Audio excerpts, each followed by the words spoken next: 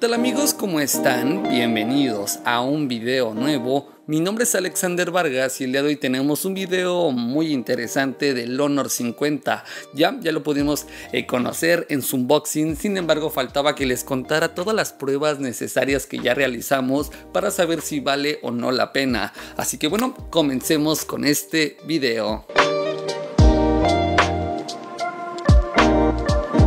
Y bien, como siempre comencemos por hablar de su diseño. En este caso contamos con una línea verdaderamente bonita, principalmente este tono denominado Frost Crystal, que es como diamantes con un tornasol que al momento de recibir la luz da un efecto súper bonito. Así que por esta parte no me dejarán mentir, va a llamar muchísimo la atención, además de que tenemos este módulo de cámaras algo diferente de lo que ya estamos acostumbrados. Contamos con unas dimensiones de 150 59.96 por 73.76 por 7.76 milímetros y un peso de 175 gramos. Realmente el equipo va a ser muy cómodo. Por la pantalla encontramos un panel OLED de 6.57 pulgadas con una resolución Full HD Plus y una tasa de refresco de 120 Hz. Por esta parte, para ser muy honesto, tendrás una excelente pantalla, se verán bastante bien los colores, reales, me gusta, además de que tiene una ligera curvatura que por supuesto en cuestión de apariencia se ve aún mejor, así que realmente para todo el contenido multimedia, gaming por la frecuencia de actualización que tiene está súper bien. Dejando a un lado el diseño pasemos ahora con el corazón del equipo, la parte interna, donde encontramos el procesador Snapdragon 778G con dos versiones de almacenamiento y memoria RAM, primera versión 6 GB de memoria RAM y 128 GB de memoria interna, segunda versión 8 GB de memoria RAM y 256 GB de almacenamiento interno. Esto quiere decir que realmente tendrás una experiencia muy completa tanto en juegos y aplicaciones y específicamente en juegos con un rendimiento más alto o con gráficos más elevados no va a haber ningún detalle, la experiencia va a ser súper completa, realmente estamos ante un teléfono verdaderamente potente. Hay que recordar que este teléfono va dirigido para una gama media alta, quizá alta,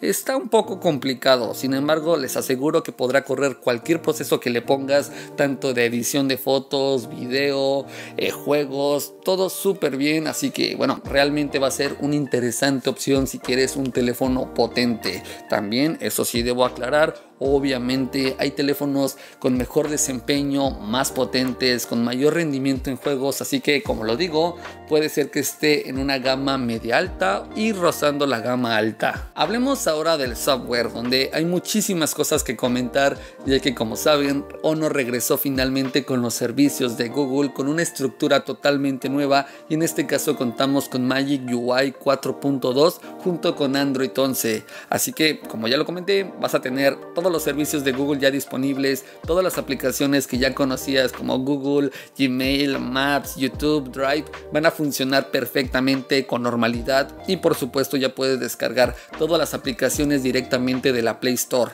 Así que bueno, es un acierto muy importante ahora para la marca, ya que seamos muy honestos, realmente trae cierta similitud con Huawei todavía y no sé, la experiencia me parece súper increíble, súper completa y de verdad se agradece muchísimo ya tener este añadido finalmente con los servicios de Google. Y aquí quiero hacer una pausa, ya que normalmente me preguntan en cuestión del tema de una experiencia con un Huawei, si vas a poder descargar todas tus aplicaciones, hay diferentes métodos para tenerla, pero realmente los servicios son los servicios. Así que bueno, realmente fue un regreso muy importante para la marca. Por la parte de la seguridad encontraremos desbloqueo a través de huella dentro de la pantalla, el cual funciona perfectamente es rápido y preciso y por esta parte no tuve ningún problema.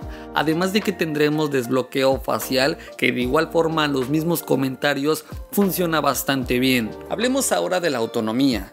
También un aspecto que me gustó mucho ya que encontraremos 4300 mAh con carga rápida de 66 watts.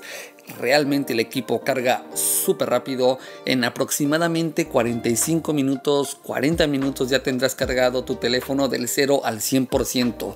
Así que bueno, realmente la carga va a ser muy buena. Eso sí, la batería puede llegarte a durar prácticamente todo un día. Puedes llegar justamente después de una jornada para conectarlo. No es especialmente la mejor del mercado, sin embargo no está mal. Así que muy bien por la batería. Hablemos ahora de las cámaras, algo que seguramente ya estabas esperando y hay muchísimas cosas que comentar. Tenemos una configuración de cuatro lentes en la parte de atrás, donde la cámara principal es de 108 megapíxeles con una apertura de 1.9. El segundo lente es un gran angular de 8 megapíxeles con una apertura 2.2. El tercer lente es para el modo macro de 2 megapíxeles y finalmente su último lente también es de 2 megapíxeles para el modo profundidad. Estas cámaras en conjunto realmente me han encantado. Los colores son bastante buenos, el nivel de detalle es sorprendente y diferentes valores como exposición, contraste, saturación, rango dinámico, HDR estará súper equilibrado para entregarte resultados bastante buenos.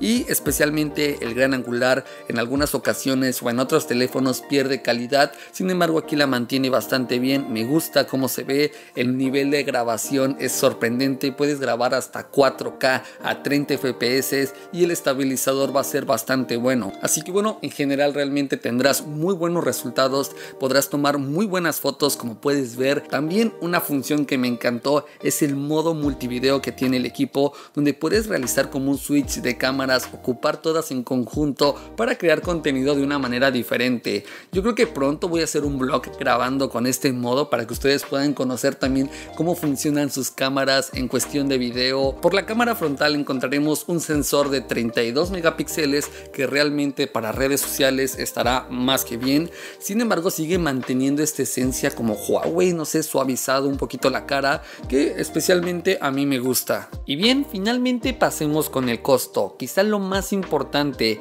primera versión de 6 GB de memoria RAM y 128 GB de memoria interna tendrá un costo de 12.999 pesos mexicanos y la segunda versión de 8 GB de memoria RAM y 256 GB de memoria interna tendrá un costo de 15.999 pesos mexicanos. En general me parecen precios muy justos realmente tomando en cuenta todas las características que tiene también especialmente los servicios de Google así que bueno realmente vas a tener una de las mejores opciones de las mejores apuestas en el mercado se estuvieron vendiendo muchísimos teléfonos la gente los amó realmente así que el recibimiento fue bastante bueno por parte de la marca y justamente del equipo. Pero bueno, déjame aquí abajo en los comentarios si ya lo tienes, qué te pareció, ya lo compraste, todo, todo déjamelo por aquí abajo. Y por supuesto no olvides seguirme en todas mis redes sociales donde les estaré complementando mi experiencia de este equipo y de otros. Así que bueno,